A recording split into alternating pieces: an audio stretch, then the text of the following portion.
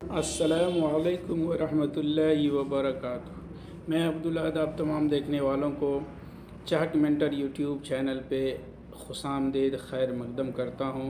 तो अभी जो ख़बर है, वो ये है कि हज 2023 के लिए अब जो है ऑनलाइन फॉर्म का आगाज़ हो गया है।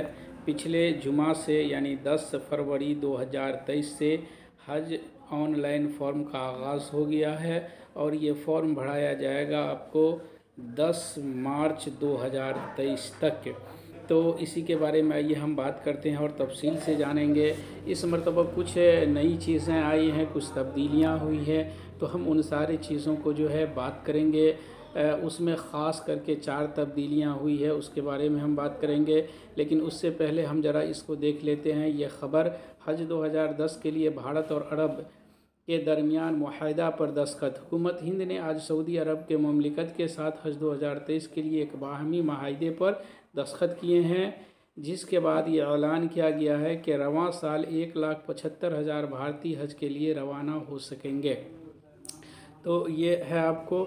अब आइए हम देखते हैं इसमें जो है, क्योंकि ये ताख़िर होने की वजह यह है कि हज पॉलिसी 2023 के वजह से जो है आपको ताख़िर हुई है, वैसे हज पॉलिसी 2023 मंजर आम पे आ गया है। इस बार जो चार बड़ी तब्दीली है, वो तब्दीली ये है, ज़रा इसको ज़रा पढ़ लें। इतलात के मुताबिक रवा साल हज कमेटी ऑफ़ इंडिया नए तमाम खामियों को दूर करने और इस बात को यकीनी बनाने के लिए इकदाम किए हैं कि भारत के तमाम आज़मीन हज पहले की बनस्बत बहुत आसानी से अदा करें।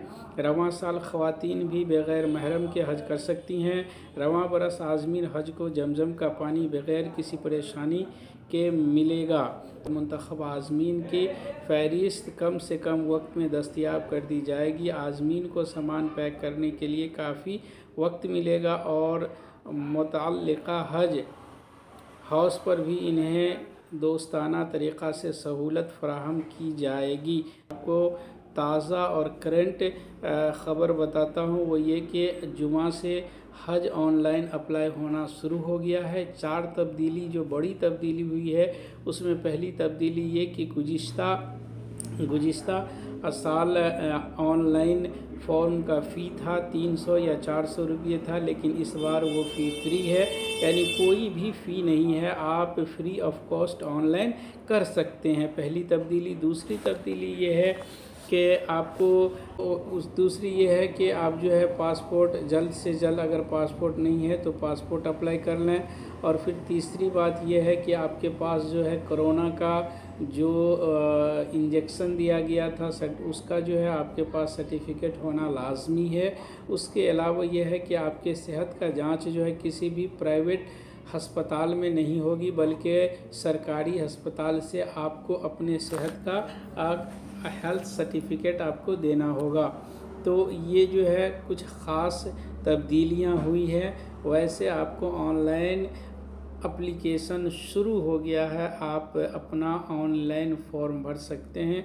इसके अलावा जो भी आपके आसपास जो इस लायक हैं कि हज कर सकते हैं, उन तमाम लोगों को हज के लिए तैयार करें। और आखिर में दुआ के तालिब अब्दुल अहद।